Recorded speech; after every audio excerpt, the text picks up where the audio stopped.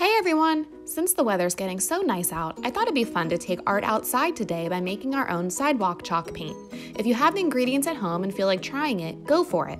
All you'll need is some cornstarch, food coloring, water, and some cups to hold your paint.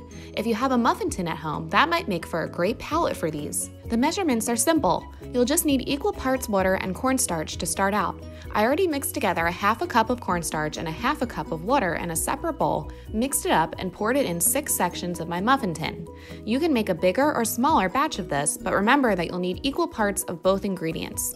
From there, add a few drops of food coloring to each cup of the mixture and stir it up to get different colors of paint.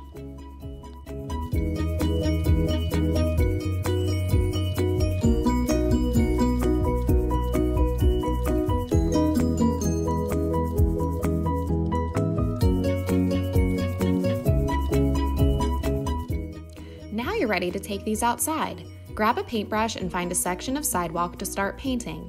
As you begin, you may notice that your painting may seem watery, but as it dries in the sun, it will take on the same consistency of chalk and get much lighter.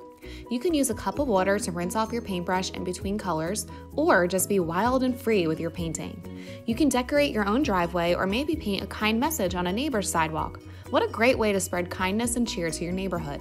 This is completely washable, so don't worry about getting a little messy. Hope you have a blast and enjoy the sunshine.